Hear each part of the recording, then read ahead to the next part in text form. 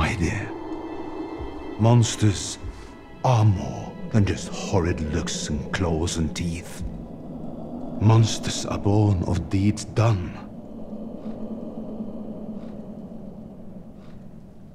Unforgivable ones.